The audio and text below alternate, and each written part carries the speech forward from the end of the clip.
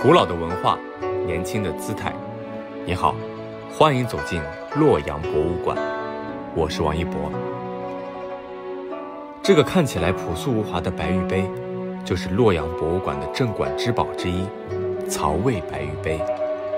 白玉杯的杯口、杯身和高足均切割规整，折角分明。它的雕刻技法受汉代遗风影响很深，精湛的雕琢和抛光技艺，正是汉代高超琢玉技艺的遗存。它曲线优美流畅，通体光素无纹，玉质温润洁白，以名贵的西域玉料和田羊脂玉琢制而成，是三国时期玉器中的佳作。在战争频发的三国时代，千里之外的西域玉料是极难获得的。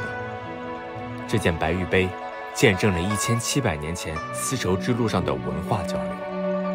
此外，它还反映了玉器由政治等级化向世俗化过渡的历史事实。因此，无论是从工艺角度还是历史文化角度看，曹魏白玉杯都有着不可替代的重要地位。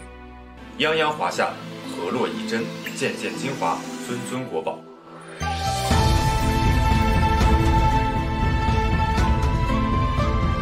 大家好，我是王一博，欢迎大家与我一起走进洛阳博物馆，翻阅古都千年华章。